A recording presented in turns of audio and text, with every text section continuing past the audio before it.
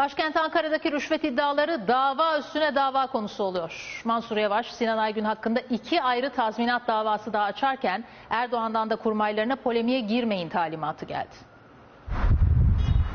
15 Temmuz'un gecesinin ertesi gün cenazeler bile kalkmamışken tapuya kimler gitti?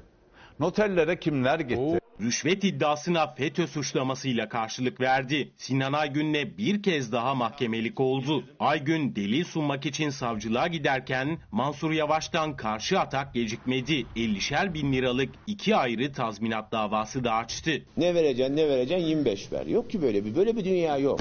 FETÖ'nün finans kaynaklarında açıkladığı en büyük gelir kalemi imar rantları. CHP'li eski vekille Büyükşehir Belediye Başkanı arasındaki tartışma devam ediyor başkentte. Taraflar karşılıklı suçlamalarını mahkemelere taşıdılar ama kameralar karşısındaki atışma da hız kesmiyor. Diyor ki iddiasında biz 25 milyon okul için istedik. Habire cahilada. Normal bir insan herhangi bir gayrimenkulüne gitse belediyeye dese ki ben buraya 100 dairelik inşaat yapabiliyorum. Ya bu bunu 500'e çıkarın dese. Hiçbir zaman işini gördüremez. kendi ceplerine indirmek için mi istediler?